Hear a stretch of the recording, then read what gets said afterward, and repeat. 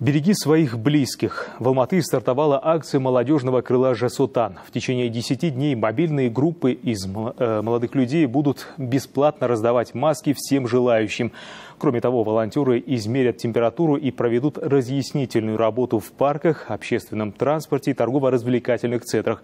О том, как прошел первый день благотворительной акции, расскажет Татьяна Ким. К масштабной акции волонтеры готовятся основательно. Маски, перчатки, дезинфицирующие средства и полный инструктаж. Все добровольцы – ребята опытные. Участие в таких мероприятиях принимают не в первый раз. 18-летний студент Бикенбай Сахи – будущий энергетик. Уверен, что помогать людям – это гражданский долг каждого сознательного человека. Я стал волонтером, потому что мне нравится дарить тепло людям. Делаю все от души, по зову сердца. Даже во время введения в стране чрезвычайного положения мы с ребятами ребятами старались помогать людям. В мобильную группу волонтеров вошли 20 человек. Их задача не только раздать средства индивидуальной защиты, но и провести разъяснительную работу с горожанами. Ведь многие в эти дни перестали соблюдать масочный режим, особенно находясь на улице.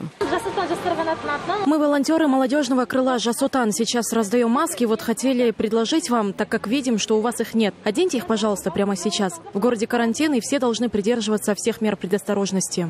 Парки, скверы, городские рынки, остановки, общественный транспорт. Эти и многие другие места планируют планируют посетить жасутановцы. Без внимания волонтеров не остается ни один человек. Ой, ну, конечно, замечательно, что вы раздаете маски. Я говорю, можно мне всю пачку оставить, потому что я каждый день ее то на базар хожу, то еще куда-нибудь, постоянно то там раз снимешь, я забудешь и оставишь. Давайте посчитаем, у кого сколько осталось. Сколько раздали уже? Четыре, пять. У меня пять.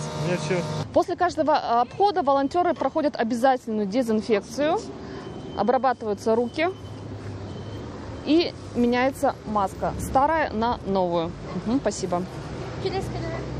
Всего сегодня жасутановцы раздали более двух тысяч масок. Если потребуется, отметили в мобильном штабе, количество средств индивидуальной защиты будет увеличено. Во всех восьми районах города эта акция будет, э, как бы сказать, э, проводиться.